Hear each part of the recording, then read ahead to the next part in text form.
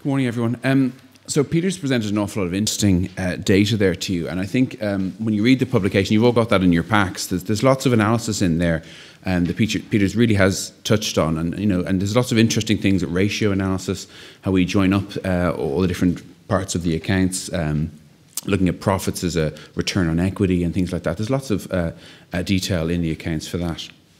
Um, what I'm going to talk about is financing the accounts, and I'm just going to talk about the what we call the S11 sector, what we call non-financial corporates. These are manufacturing and service companies for you guys. Um, I'm just going to talk about their financing um, of activity in, in, Ireland. And as uh, Peter said, there's lots more data uh, on the publication, and particularly on the, the data bank, uh, rather than what I'm going to talk about uh, in, in, quite a high-level uh, set of slides today. So from our infographic from the publication, Peter's talked to you about the middle bit, okay? So output through to uh, acquisition of capital. And I'm going to talk about the, the tails on this, the two ends. So what happens at the start about investment? You get investment and then you see production after that. And then I'm going to talk about the end of the process. So after you've had that production uh, that's occurred in Ireland, you can choose with that surplus or deficit to borrow or lend and that takes you around in a circular flow back again to the, the, the, positions at the end. So that's the full set of accounts. I think you get the picture from the, the great charts Peter put up at the start there, how detailed this is. it, it is complex. Um, let's see what we can do to, to talk you through it. So my focus uh, today is on showing you this uh, non-financial corporate split, uh, domestic and foreign split on the balance sheets mainly. Uh, I'm not going to talk about, we didn't do an analysis of the financial sector like Peter had uh, for his uh, parts of, of, the publication. So I'm just going to talk about the, the S11 uh, manufacturing and, and, and uh, service firms. Talk a little bit about the policy use of the data, um, uh, using the European macro scoreboard as, as, an example. We've been working with that for quite some time, and it really is really useful to understand domestic and foreign impact on that measure. And then talk a little bit about future work and some of the challenges that we have uh, in, in, producing the data. Uh, so that's that's the the main picture I think from from the balance sheets. What, what's the size of this uh, uh, S11 sector, this manufacturing and, and, and service firms in Ireland? Um, if I can get the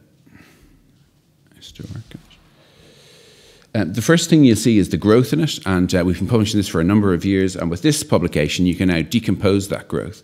I think the first thing that most of you do uh, is uh, on our uh, interactive graphics on our website, is you turn off the foreign stuff, right? You say, okay, well, let's get the foreign and the PLCs out of there and, and see what it looks like, right? You want to see what's going on in the domestic economy.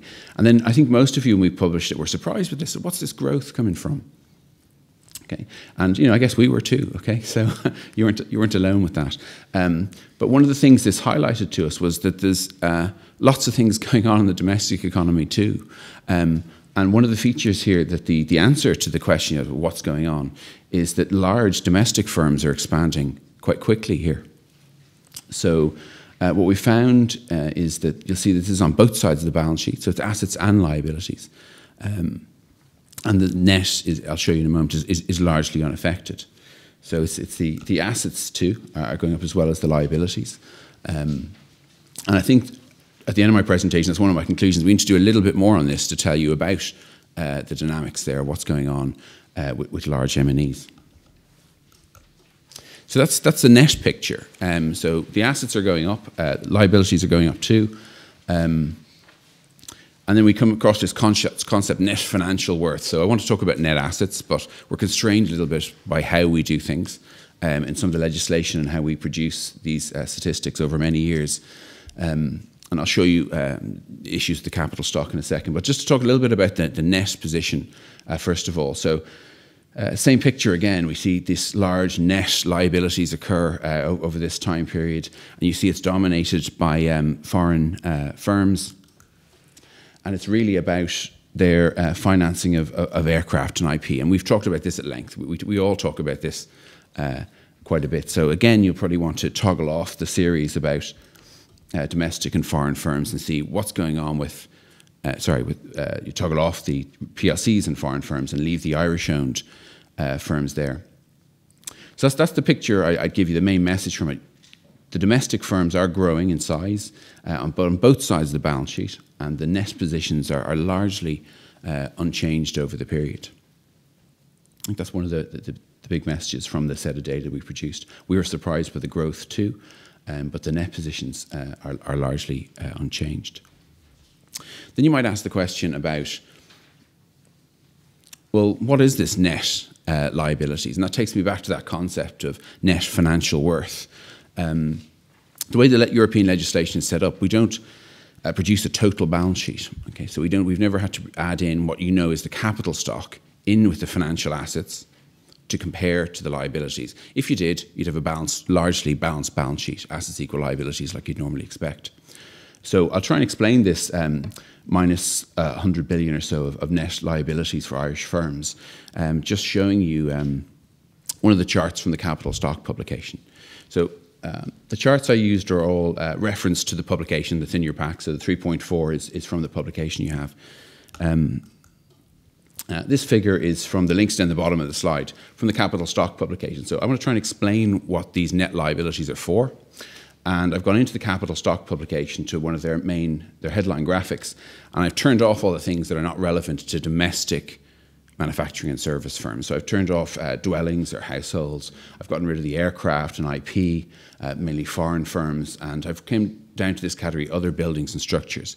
And that's what you'd expect the net liabilities to be. It's, it's commercial premises. It's the premises of um, these firms. Now, obviously, there'll be some transport equipment and, and, and items in there too.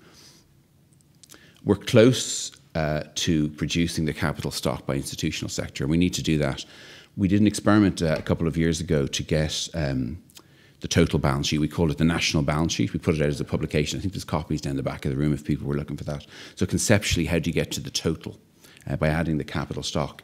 in with the financial assets uh, and liabilities to get you a total balance sheet so you can see what's going on. What's interesting for Ireland with that one is that you can see the financing uh, that you regularly see here and how the IP and the, the aircraft are financed. So that was a different day's discussion, but that's what that's for, to look at the whole balance sheet so you can see what's going on in the economy. Just then to go on and talk a little bit about um, the policy use of the data and, and what we're going to move on to with future work plans.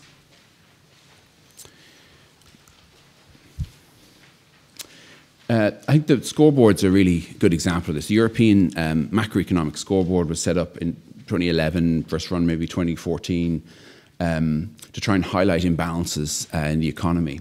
And we've had a couple that we've been dealing with. Um, they're highlighted in red. Their house prices, uh, government debt, our foreign uh, liabilities, and private sector debt. And I think you know house prices and government debt are very well understood. Um, the net IIP, the net liabilities non-residents, and private sector debt are a little bit harder to understand. Um, so this foreign, on the uh, private sector debt, this foreign domestic split really helps. Um, so if I was to show you the main graphic from private sector debt on the macro scoreboard, it looks like this. So the blue line is the European measure. Um, the red line is the threshold, the warning, the politically set uh, warning threshold. And you know, we have a lot of questions about the Irish data. Why is our uh, private sector debt uh, growing uh, through the period? And um, we clearly know about household deleveraging, the yellow bit there getting smaller and smaller. And we need to understand the NFC, that these are manufacturing and service firms. We need to understand the breakdown of those and what's the risk associated, the possible risk associated for the Irish economy. So the breakdown into foreign and domestic really helps there uh, to take the blue bit out and show that we do have this uh, set of Irish data from Irish firms and households that's rapidly approaching the, the EU warning threshold and that it's, it's below it um, uh, in 2017 just and, and, and, definitely below it than in, in 2018. There's more uh, graphics there. Again, the link is down the bottom of that slide to that publication. That's uh, figure 2.18. And 2.19 actually has more detail on that about where the lending comes from. And it tells you that the Irish firms largely borrow in Ireland and the foreign firms uh, borrow abroad. So there's another dimension to that data. It's a little bit more complicated, but you can look at that uh, if you're interested in it. Then, in terms of uh, a little bit about future work, so our manual um, suggests uh, we move towards this uh, more detailed uh, set of data, um, S11, 1, 2, and 3. So uh, uh, public corporations, um, national, private, and foreign uh, controlled corporations. And you know, you asked, you asked a good question, Frank, about you know, do any other countries do this? Lots of other countries are about to do this. We're one of the first, I think, to, to, to do it. Um, so we have a medium for financial accounts. We have a medium-term work agenda um, to try and do this, to try and push the split. Uh, certainly across Europe, but other countries are, are, are doing it too. So there's a little bit more work involved in this. Um, but one of the things we'd like to do along the way is to um, keep going at the, the, the, domestic firms and the split of them, because what we saw um, presented here today, I guess, is the uh, Irish-owned firms. Uh, we showed you a breakdown of the PLCs and the foreign-controlled firms. But one of the problems we encountered there was that growing domestic balance sheet. And we are still left with the question what's going on uh, with that domestic balance sheet? So, that extra breakdown in the middle column about domestic firms or foreign trading firms uh, will help with that. So, that's one of the, the ideas. Whenever we see kind of uh, regression analysis on this, you'll always control for size, firm, firm size, when you're doing this uh, kind of analysis. So, you know, another thing we could look at, which is roughly the same kind of proxy, is firm size. You might want to see the domestic firms split into larger and, and, and smaller um, firms. Um, you might also say some of the things that Peter's produced about NACE breakdowns in, the data. So maybe within some of these, you'd like to see NACE breakdowns of the data. Um, and we, we could explore that too. But I guess what we've a little bit of experience of is, is this breakdown. Um, looking at the SMEs, the domestic trading firms, and the, the bigger firms that are, that are largely uh, foreign trading, that are all Irish owned. And to give you an example of that, um, we did this last year for the, the FDI publication. We are looking at foreign investment and we are looking at the characteristics of foreign investment. And this, I guess, was a little bit of a surprise uh, when we produced it. It's The green bar I'm going to talk about uh, in the middle. So when we looked at foreign-owned um, firms, the wages they pay, this is average wages for foreign uh, MNEs, what we called Irish MNEs, and uh, domestic firms. Was when we initially produced a foreign domestic split, was that the domestic stuff was heavily polluted, you know, made the analysis difficult by these um, large Irish MNEs. Um, and we saw here is that their wage rates, these uh, large Irish MNEs, could in many cases be um, majority uh, foreign owned. Uh, many of their employees are abroad. Many of their physical assets are abroad too. They really do look like a foreign MNE. Um, and we saw that was certainly there with their wage rates too. They're operating on an international market, paying international uh, wages, and not subject to kind of a domestic uh, wage floor. So I think we have a little bit of evidence that we could push uh, the definition a little bit more and I think if we, when we present this with our international partners and get some feedback on it, we'll see what kind of uh, work they're doing too. Um, but there is quite a bit of work involved in getting every firm uh, uh, classified like that. So finally, then. Um, a quick summary. So our, our, main point was about the uh, S11 manufacturing and service company, uh, domestic and foreign split.